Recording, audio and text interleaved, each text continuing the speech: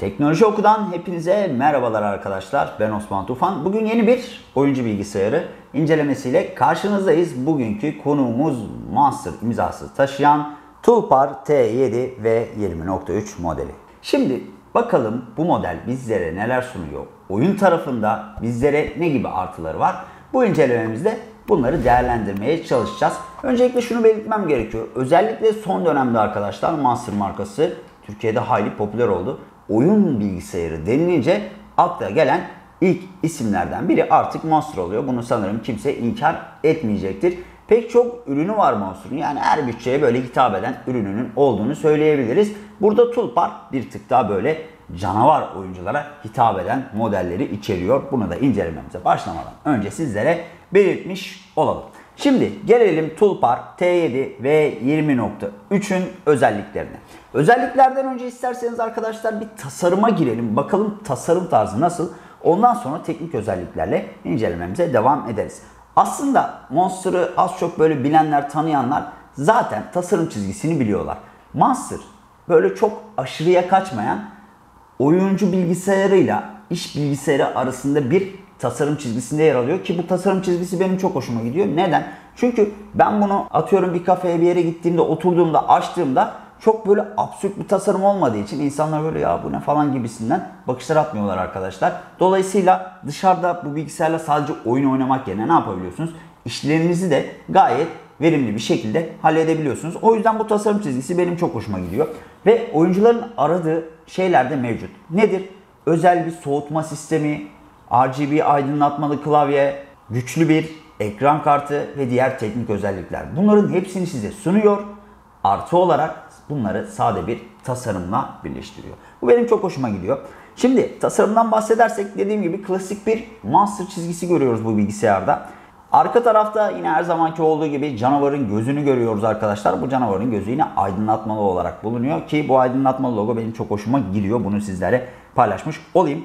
Bilgisayarı açtığımızda karşımıza hemen bir RGB aydınlatmalı klavyemiz çıkıyor. Bu RGB aydınlatmayı biliyorsunuz zaten Monster'ın arayüzünden kendiniz özelleştirebiliyorsunuz. Bu arayüzden ayrıca pek çok opsiyonu da seçebiliyorsunuz arkadaşlar. Yani fan soğutmasından tutun da RGB aydınlatmalara kadar, klavye seçeneklerine kadar vesaire pek çok şeyi bu Monster'ın arayüzünden kendiniz özelleştirebiliyorsunuz. Bunu yeri gelmişken sizlerle paylaşmış olalım. Hemen üst tarafta power butonumuz yer alıyor. Power butonunun yanında arkadaşlar oyun modu yani turbo mod, oyun modu arasında geçiş yapmanızı sağlayan bir tuş mevcut. Bu tuşa bastığınız zaman ofis modu, oyun modu ve turbo mod arasında hızlı bir şekilde geçiş yapabiliyorsunuz. Örneğin turbo modu aldığınız zaman ne oluyor? Bilgisayarın performansı bir tık artmış oluyor. Soğutma sistemi devreye giriyor ve size daha verimli bir seçenek oyun ortamı sunuyor. Burada tabii şu önemli. Atıyorum ben ofis modunda çalışırken turbo moduna geçmeme gerek var mı? Tabii ki yok arkadaşlar. Ofis modunda aldığınızda ne oluyor? Performans biraz daha düşüyor. Pil ömrü artmış oluyor. Böylece sizin çalışmalarınızı stabil bir şekilde yürütürken pil ömrünün de uzaması sağlanmış oluyor. Bilgisayarı aldığımız zaman şöyle kendimizi tuttuğumuz zaman arkadaşlar sol tarafta bir adet USB yuvası, mikrofon ve kulaklık jackını görüyoruz. Sağ tarafta ise 2 adet USB 3.0 girişimiz var ve bir adet de hafıza kartı okuyucumuz bulunuyor. Cihazın arka yüzüne baktığımızda ise Ethernet, Type-C, HDMI ve güç girişlerinin buraya konumlandırıldığını görüyoruz. Ki Monster'da benim sevdiğim detaylardan biri de bu aslında. Arka tarafa da giriş yerleştirmeleri. Pek çok bilgisayarda yok arkadaşlar bu. Dolayısıyla arka tarafa giriş yerleştirilmesi pek çok açıdan sizlere kolaylık sağlayabiliyor. Bu arada tasarımdan bahsetmişken şuna da değinelim arkadaşlar. Burada 17.3 inçlik Full HD yani 1920 x 1080 piksellik bir ekran söz konusu. IPS LCD mat bir ekran. Mat olması şu açıdan önemli. Yansıma yapmıyor arkadaşlar. Yani böyle oyun oynarken karanlık etrafı falan girdiğinizde böyle ekranda kendinizi görmüyorsunuz. Bu oyuncu bilgisayarlar için gerçekten kritik bir nokta diyebiliriz. Bu arada ekran yenileme hızının da gayet ideal olduğunu söyleyelim. Monster burada 144 Hz'lik bir ekrana yer vermiş ki bazı kişilerde biliyorsunuz ekran takıntısı vesaire olabiliyor. Yani 144 Hz'in gayet yüksek olduğunu söyleyebiliriz. Özellikle bir laptop için. Tasarımsal konuda değineceğim son nokta ise web kameranın olduğu yer arkadaşlar. Web kamerası yukarıda. Bunu da sizlere belirtmiş olalım. Bence zaten laptoplarda yukarıda kullanılması web kameranın daha avantajlı oluyor. Çünkü biliyorsunuz bazı firmalar farklı yerlere falan konumlandırıyor ama yine günün sonunda laptoplar için söylüyorum web kamerasının yerleştirileceği en ideal yer üst çerçeve diyebiliriz. Şimdi tasarımımız bu şekilde diyebiliriz. Gayet alışık olduğumuz bir monster çizgisini görüyoruz. Peki bu Tulpar modeli bize iç tarafta yani teknik özellikler tarafında ne gibi vaatlerde bulunuyor? Dilerseniz şimdi bir de bunu deneyimleyelim. En nihayetinde arkadaşlar bu bir oyuncu bilgisayarı. Tabii ki bunda biz çeşitli oyun testleri yaptık fakat bu oyun testlerine geçmeden önce sizlere biraz teknik özelliklerinden bahsetmek istiyorum. Bu cihazda Intel imzası taşıyan 10. nesil i7 işlemci bulunuyor. Bu işlemcinin hızı normal şartlarda 2.6 GHz Turbo Boost ile 5 GHz'e kadar çıkıyor arkadaşlar. Ekran tarafına baktığımızda Nvidia imzalı RTX 3060 ekran kartını görüyoruz. 6 GB'lık GDDR6 belleğe sahip ve 192 bitlik bir karttan bahsediyoruz arkadaşlar.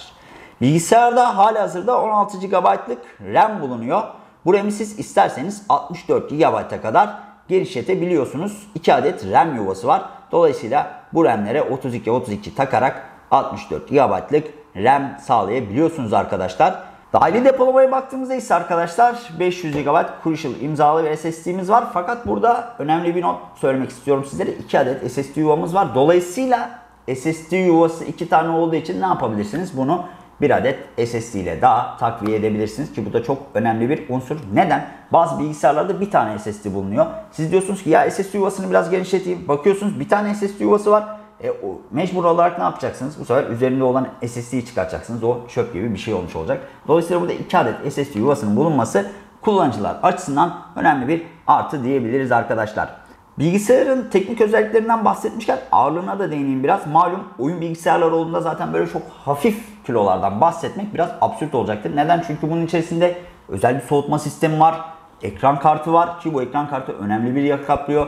Batarya büyük biraz. Dolayısıyla burada 2,5 kiloluk bir ağırlıktan söz edebiliriz. Ha tabi oyuncu bilgisayarı olarak kıyaslarsak 2,5 kilo ağırlığın gayet normal olduğunu sizlerle paylaşabilirim arkadaşlar. Bu arada şuna da değinmek istiyorum. Oyuncu bilgisayarlarında soğutmanın ayrı bir önemi var. Burada turbo seçenekli Duo fan sistemi kullanılmış ve bu fan sisteminin hali başarılı bir soğutma sağladığını söyleyebiliriz. Ekran kartınız yük altındayken bile 70 derecenin üzerine çıkmıyor ki bu bence önemli bir unsur. Biliyorsunuz söz konusu laptop olduğunda biraz ısınma vesaire sıkıntı olabiliyor zaman zaman ama Monster benim yaptığım testlerde bu ısınma olayını çok yansıtmadı bizlere. Dolayısıyla Turbo Duo Fan desteğinin sayesinde de serin bir çalışma ortamı sunduğunu söyleyebiliriz sizlere. Şimdi gelelim arkadaşlar ses tarafına. Ayarlanabilir sanal hoparlörler ve THX Spatial Audio teknoloji desteği mevcut bu bilgisayarda. Yani ses tarafında sizleri memnun edebilecek bir kapasitesi var. Birazdan zaten ses testini de sizlere sunacağız. Yani bilgisayarın ses tarafında nasıl bir başarıya sahip olduğunu canlı olarak siz de gözlemlemiş olacaksınız. Şimdi arkadaşlar gelelim asıl önemli noktaya. Bu bilgisayar bizlere nasıl bir oyun deneyimi sunuyor? Şunu sizlere söylemek istiyorum. Sitemizde 2 haftada bir yayınlanan Oyun Canavarı programında biliyorsunuz her hafta farklı bir oyun vesaire deniyoruz. Bundan sonra Tulpar T7 ve 20.3'ü kullanacağız arkadaşlar. Yani RTX destekli oyunlarda böyle cayır cayır RTX, DSLR desteği falan açarak oynayacağız. Bunu da sizlerle paylaşmış olalım. Şimdi gelelim oyunlara. Biliyorsunuz burada hem RTX hem DLSS desteği mevcut arkadaşlar. DLSS biliyorsunuz kare hızının böyle muntazam oranlara çıkmasını sağlıyor ve Nvidia kartlara özel bir teknoloji. Bu teknolojiyi Nvidia uzun süredir kullanıyor aslında. Hatta en son 2.0 sürümünü çıkardılar ki bu 2.0 sürümüyle birlikte daha başarılı bir performans ortaya koydular. RTX tarafında ise biliyorsunuz aktif ışın izleme olayı var. Yansımalar vesaire değişiyor. Bu oyunlardaki gerçekliği arttıran en önemli unsur şu anda. Pek çok oyuna RTX desteği yavaş yavaş gelmeye başladı. Yani yeni çıkan oyunlarda var tamam ama artık eski oyunlara da RTX desteği getiriliyor arkadaşlar. Dolayısıyla RTX destekli bir bilgisayar alırsanız bu oyunları daha da keyif alarak oynayabilirsiniz. Biz Monster'ın bu bilgisayarında çeşitli oyunlar test ettik. Bu oyunlarda gayet iyi FPS oranları aldığımızı sizlere söyleyebilirim. Üstelik bu oyunları oynarken çok fazla böyle takılma, donma vesaire yaşamadığımızı da sizlerle paylaşmak isterim arkadaşlar. Yani öyle ısınsa bile bilgisayarımız takılma donma vesaire olmadı. Bunu size baştan söyleyelim. Ayarları da ultra'ya çektik. Yani öyle düşük ayarlarda, orta ayarlarda vesaire oynamadık.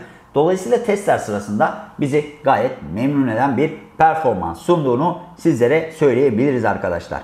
Şimdi gelelim az önce sözünü ettiğimiz ses sesine. Bakalım Tulpar'ın bu modeli bizlere nasıl bir ses performansı sunuyor.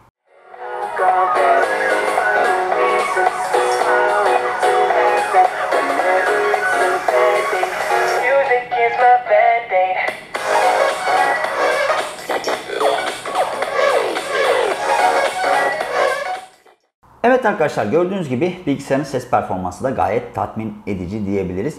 Bu bilgisayar ayrıyetten bir PC Mark 10 benchmark testi de yaptık.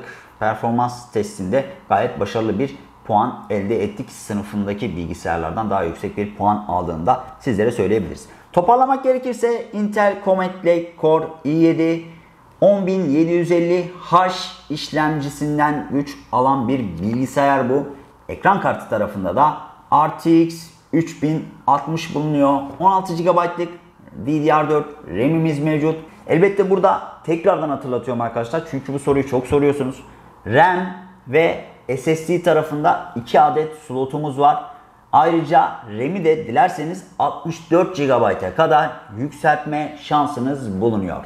Eğer bu bilgisayarla ilgili kafanıza takılan herhangi bir soru işareti varsa arkadaşlar bu videonun altında bizlerle paylaşabilirsiniz.